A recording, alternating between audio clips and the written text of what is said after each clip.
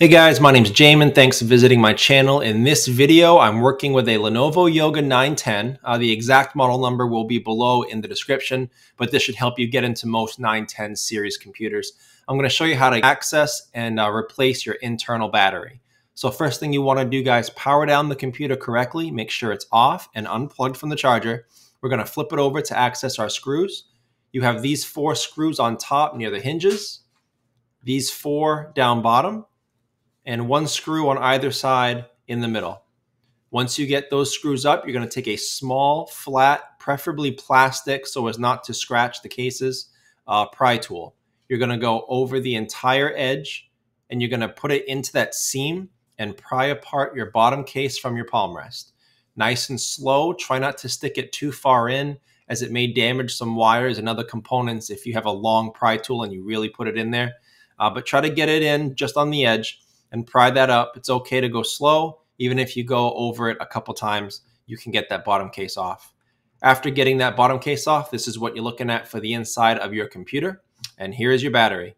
Also, when taking off that bottom case, you may notice a little resistance right here in the middle of the battery. That's not a screw. It's just a little clip, but it does hold the bottom case down a little bit. So it may feel like a screw, but if you put a little pressure on that, that will unclip. The battery is held down by a few screws here, here, here, here. After taking those screws out, guys, the battery plugs into the motherboard right here. Now, some of you, especially those of you who this computer hasn't been entered before, you'll have a little yellow or blue uh, piece of tape right there covering these two ports. You can gently, slowly peel that back.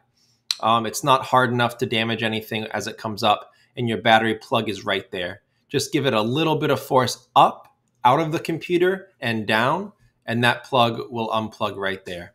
For those of you looking for a replacement battery, just as an FYI, this battery is an L15M4P23.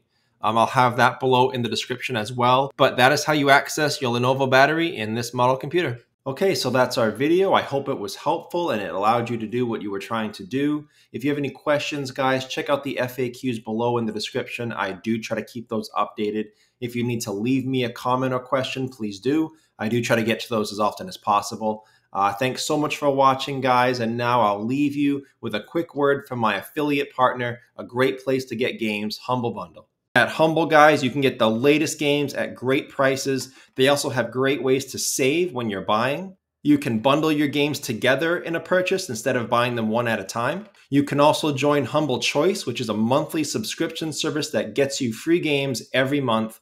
And you can also feel good about your purchases because Humble has donated a ton of money to charity. And every time you pay your Humble Choice membership, every time you use my link, charity gets more. So it's a great website, guys. Great place to get games. Check it out with the link above. I'll also have the link below in my description.